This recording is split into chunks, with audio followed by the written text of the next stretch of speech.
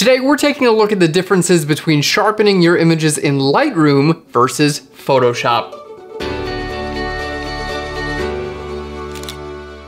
Hey there and welcome to Phlearn. My name is Aaron Nace. You can find me on phlearn.com where we make learning fun. And in today's thing, in today's episode, we are answering the age-old question. Is it better to sharpen in Lightroom or in Photoshop. So we're gonna go over a couple different sharpening tools in Lightroom and in Photoshop and see which results win the test. We got a great one for you. We're starting off, let's get into Lightroom. So here's our sample image for today. Now you can actually download this on phlearn.com and follow along using the link right down below. So first thing we're gonna do is pop into our develop module. That's how we sharpen in Lightroom. And basically there are two ways you can sharpen in Lightroom. The first way is to go to right down to your detail panel and just crank up sharpening. So just bring up sharpening. Now to see it really well, we're gonna go ahead and zoom in. So I'm gonna do a three to one zoom and we're gonna get nice and close to our subject. So really, really nice. You do have a little preview window here and you can click on this little thing to kind of like navigate around your uh, navigate around your image. I just prefer to zoom in like a three to one. You can click on this little drop down box to get to a higher level of zoom if you need it. So here we have a few different options. We can just increase the amount of sharpening. Now radius will be like for larger details, you'll use a larger radius. Smaller details, you'll use a smaller radius. We have the amount of detail, which just basically kind of enhances the amount of sharpening on a per pixel basis. And then masking is gonna try to do its best job to not affect like smoother areas like skin and try to affect uh, like areas with more contrast like eyes and things like that.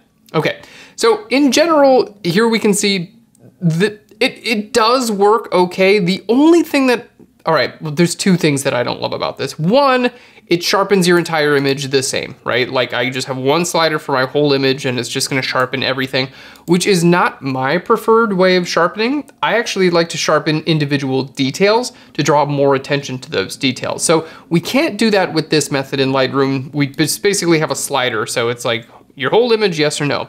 Um, the other thing that I notice is a lot of artifacts. Just a lot of this just, it, it looks very, uh, usually something I stay away from in Lightroom. But I do wanna go ahead and just crank this up and export this out. So I went ahead and exported that out. Let's take a look at our other method of sharpening here in Lightroom and then we can kind of compare all of them together in Photoshop in a bit. So we're just gonna bring this right back down to zero. In fact, here in my history, I'm just gonna go back to import.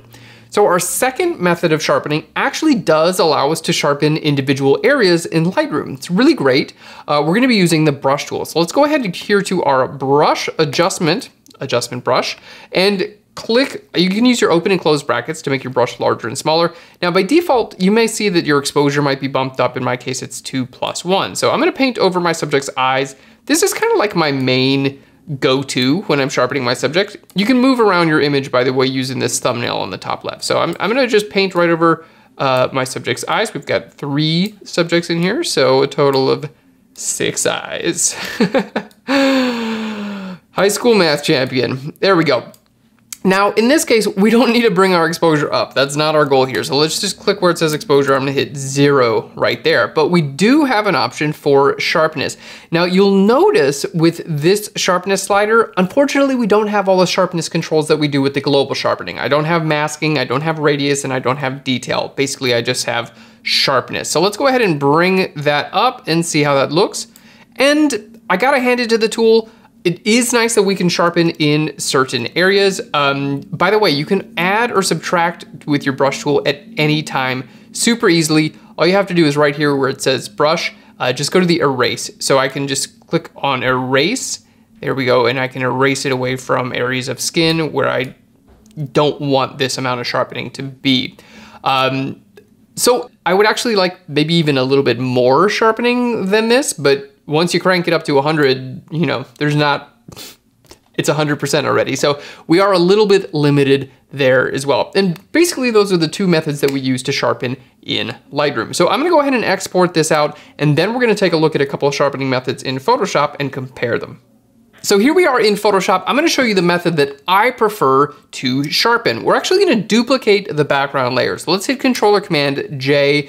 Now, if you already have a bunch of layers, you can actually just create a new layer and go to Image and down to Apply Image. There we go, and just choose Merge and Blending will be normal.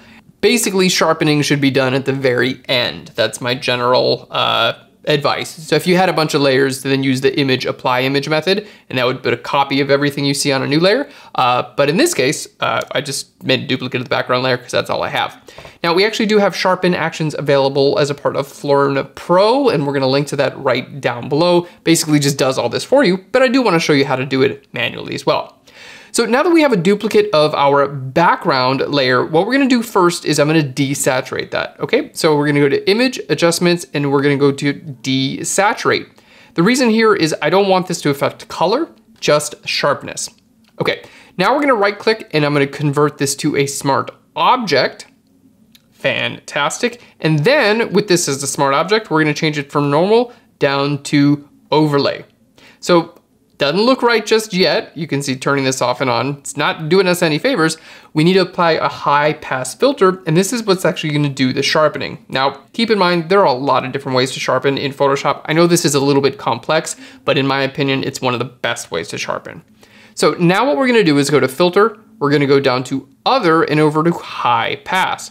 And basically this just removes, uh, if I zoom out, you can kind of see what it looks like here. So let's just go to a person's face. It removes detail in like smooth areas and just focuses on uh, contrast between highlight and shadow.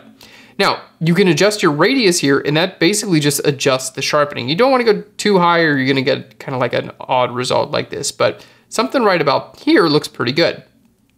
Now, the reason I like this method is that I can use a layer mask with this. So just click on your layer mask icon. I'm gonna invert my layer mask by hitting Control or Command I, and then I'm just gonna use a standard brush tool to paint it in. So basically I just use the brush tool and now I can just paint in exactly where I want this sharpening.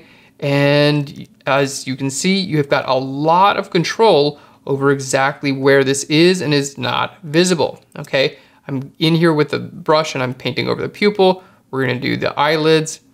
There we go. Now, of course, you can sharpen an image as a whole with this technique as well. You just keep the layer mask white, but I think it really shines uh, as, a, as a technique when you just sharpen eyes and other features where you really wanna draw attention to your subjects. This keeps your subject's skin from being sharpened because you really don't want to sharpen skin for the most part. Um, lips are also okay, by the way. So sharpening lips and sharpening eyes, that's generally where I will sharpen photos. There we go. And details like this, like metallic objects look really good when they're sharpened as well. So here we go. Now, in my opinion, this is a very natural looking sharpen. Let's just turn this off and back on. The reason I like this technique is that I can change the level of sharpening at any time. All I have to do is double click here on the high pass filter and everything is set up. So now all I have to do is change my radius. Okay, so a lower radius will be less sharpening and a higher radius will be more sharpening. Okay, you don't want to go too high. Again, you're going to get kind of unnatural results, but you basically want to go as high as you possibly can until it starts to look unnatural. In this case, around nine pixels looks pretty good. If you're following along, you could just enter in nine. There we go. And we can see our eyes are sharpened.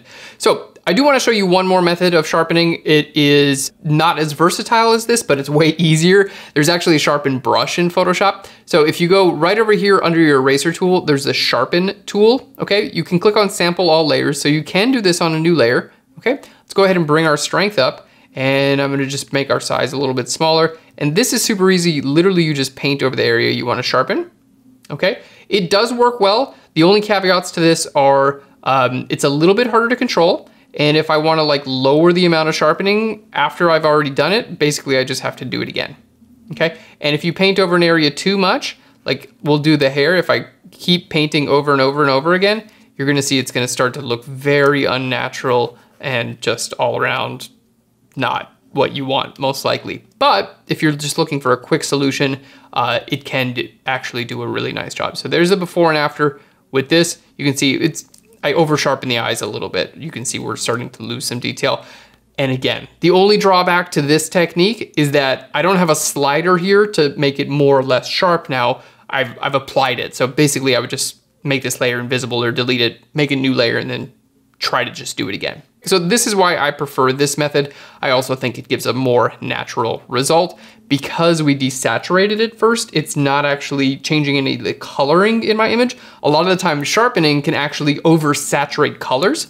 Like you can see all of my colors are really oversaturated from when I use the sharpen tool here, okay? But when I use my first method, it's not affecting color at all because I desaturated first. And if you download the Photoshop Sharpen actions available from Phlearn, they're all built in a way that they don't oversaturate colors as well. So now that I've shown you my favorite technique of sharpening in Photoshop, let's go ahead and do a little compare and contrast here. I'm gonna bring in our images from Lightroom and we're gonna be able to see how they all stack up. And then you can be the judge with your little gavel. You can say, you're the winner. Let's do it. So here we are, I've brought all of my layers together. So at the very top, we have our Lightroom Sharpen with the adjustment brush. Then we have our Lightroom Global Sharpen where we just took the sharpening slider and cranked it up a little bit. Then we have our Photoshop Sharpen with our Sharpen tool, and then we have the Photoshop Sharpen with the high pass filter. So let's go ahead and take a look, and then you can decide for yourself uh, who's the winner. So let's go ahead and take a look at our global sharpen in Lightroom first. So let's turn this off and on. And we can see, although it does sharpen the eyes well, we are left sharpening areas that maybe you don't want to sharpen, skin and things like that. And if we zoom in uh, really close, we're getting uh, just a little bit of detail that maybe you don't want in your photograph. Now let's take a look at our sharpen with the adjustment brush in Lightroom. So this is turning off and on. And remember, we were at 100% with the adjustment brush in Lightroom. So I was not able to get any more sharpening than this. So now let's take a look at the sharpen tool in Photoshop. And while it does offer you a strong sharpen, uh, if you go too much, you're gonna start to see that you do have a little bit of a saturation shift. These colors are way too saturated um, and we don't have a lot of control. Let's see how it looks in comparison to the Lightroom sharpen with the adjustment brush. So turning that off and on, you can see I was able to get a lot more strength a lot more power out of the sharpen tool in Photoshop than I was out of the adjustment brush in Lightroom.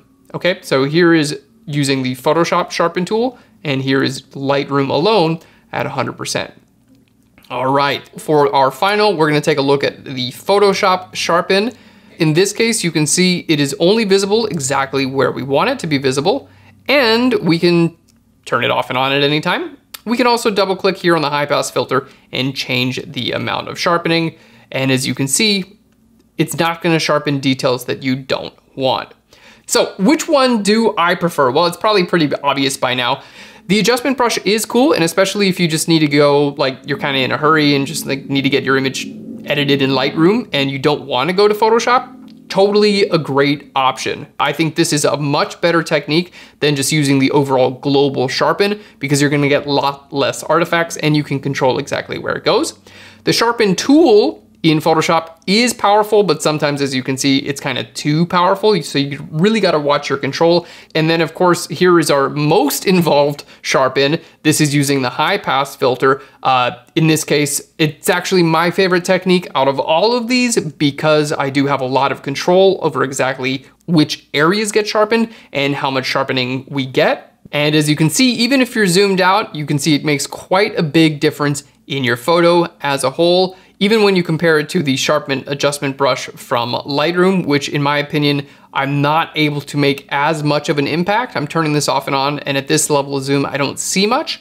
Uh, but here in Photoshop, I actually see quite a big change. And after all, most of the time, we're not gonna be viewing our images at 100% zoom. Let's see if the Lightroom Global, if we can see any artifacts from this level of zoom, and you kind of can looking in the skin down here and things like that, you, you kind of can start to see some artifacts. So um, I think I've got a clear winner here this with the Photoshop sharpen technique. I also realize it's kind of the most work out of any of these different techniques, but I think the results speak for themselves. So I'd love to know your thoughts. And if you have any other suggestions on how to sharpen your images or things that worked for you, please let us know in a comment right down below. Thank you so much for watching. I hope you enjoyed today's tutorial. If you want to get more free tutorials on Photoshop, Lightroom, and photography. Hit that little subscribe icon. We'll send you one every single week. Thanks so much. I'll learn you later.